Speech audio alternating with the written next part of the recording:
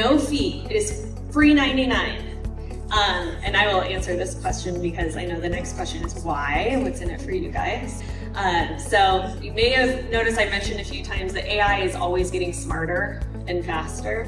When you all are using Angel AI, you're helping the AI learn. So if you were to ask some obscure question that has never been asked before, you're helping it learn that answer.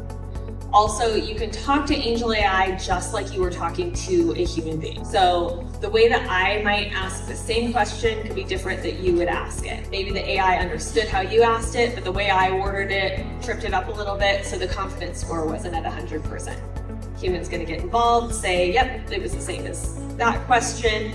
Now the AI knows this other way of phrasing a question. So the more people that are using it, especially across the country, it's using, learning the different nuance of language.